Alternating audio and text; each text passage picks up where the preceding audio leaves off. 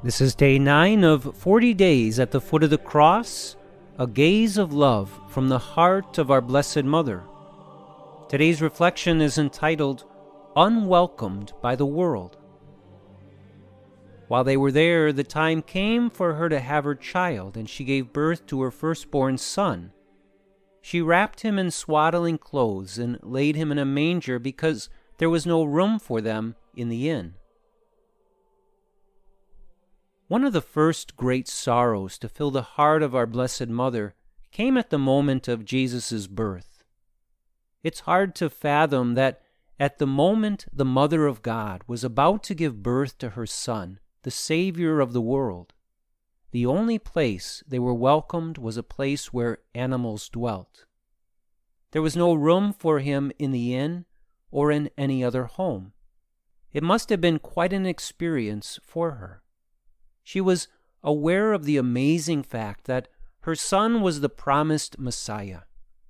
She knew that she had conceived him miraculously by the overshadowing of the Holy Spirit. But now that it was time to be born, he was rejected for the first time. His first bed was a manger, the feeding trough for animals. Rejection was a part of the lives of Mary and Joseph. It began with his birth and ended on the cross. Our Blessed Mother was there throughout. But the rejection they encountered in life never robbed them of their peace and joy. One thing that clearly overshadowed the rejection of the world was the shared love of this mother and son. The bond that they shared served as their mutual daily spiritual food. Their love enabled them to overcome the pain of earthly rejection so as to live the will of the Father to perfection. So often in life, we also experience rejection, misunderstanding, and a lack of welcome by the world. When this happens, there is a great temptation to get angry and even despair. The key to enduring rejection is to be certain of the love and full embrace of the Mother of God and Jesus her Son in your life. They are always there with arms open wide.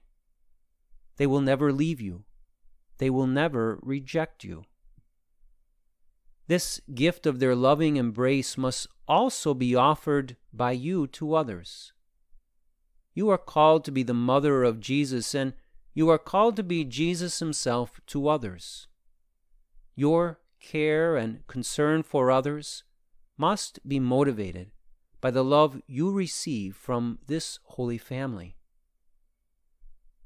Reflect today upon two things. First, know that you are always welcomed by the Mother of God and by Jesus, her Son. You always belong to this family reflect also upon your duty to bring their family love to others.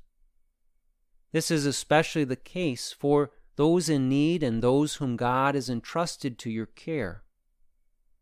Do not waver in being welcoming in every way, for in the act of welcoming another, you will find that you are welcoming Christ Himself. Let us pray. Dearest Mother, I thank you for welcoming me always as your child. May your heart be my home as I rest close to your Son.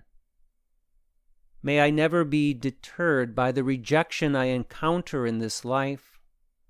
Instead, may I always turn to your loving embrace, knowing that you welcome me as you welcomed your Son into this world.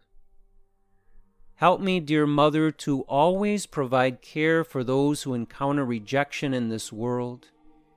May I be an instrument of your welcoming heart to all who are in need. Precious Lord, you had no place to lay your head except a manger. Yet the presence of your mother was all the welcome you needed. Help me to open my own arms to you as you show yourself in others. Help me to seek out those rejected and in need. May I be that manger for them and a refuge of your own divine love. Mother Mary, pray for us. Jesus, I trust in you.